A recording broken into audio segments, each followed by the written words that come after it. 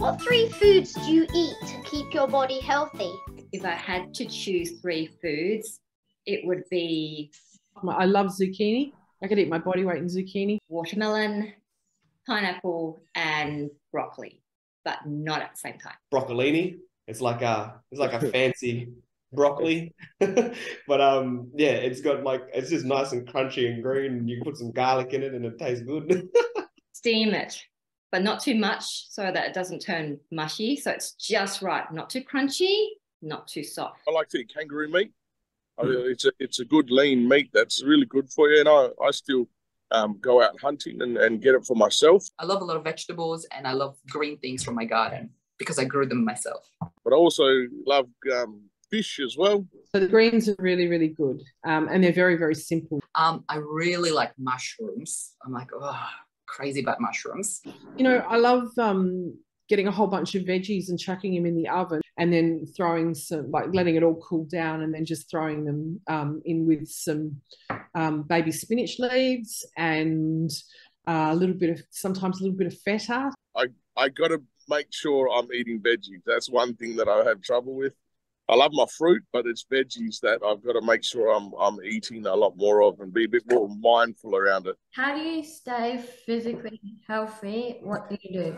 Jiu-jitsu and kickboxing. I've been doing it ever since I was little. So when I'm home, I go to the gym and I walk. And in summertime, I paddle, like paddling. You know, when you're an artist, it is a crazy job because you sit on a chair all day, sometimes for 10 hours a day. I don't find myself much of a gym person, so I'm going to tell you something secret that I do.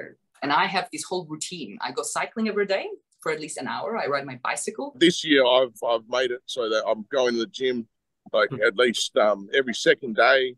So I go online and I dial up like a five minute workout video. so if you walk past my window when I'm taking a break from writing, you might see me doing something really silly like aerobics, but not in 80s gear. And uh, the best thing about that is you don't have to get dressed and you don't have to go out. Um, I do exercises in the middle of the day. So I do stretches. So I exercise really frequently. Um, you know, four or five nights a week, and then in the morning I like jogging, skipping. I'll pull a tire around. Yeah, um, I do it all. I know this is going to sound really, really daggy, but I treat cleaning my house like an exercise. What what things do you do for your mental health? How do you stay mentally healthy?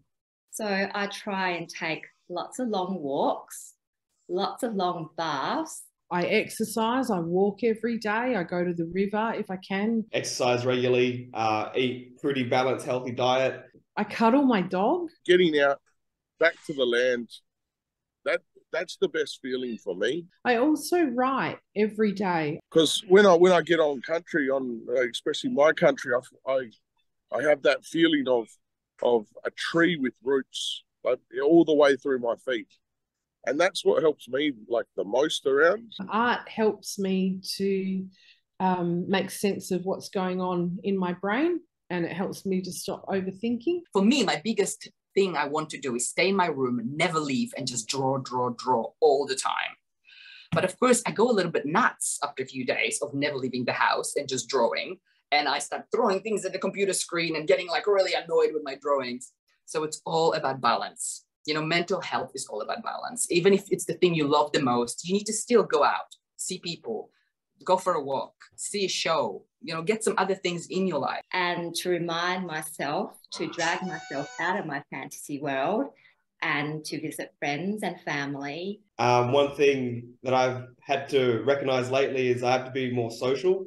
Um, I'm a pretty introverted person. I like my personal space, but um, I noticed because I live and work alone, like it's started being like, well, you need to go see people every day and talk to someone and be outside your own head for a little while. Uh, and do some exercise, of course. And I think this is really the key.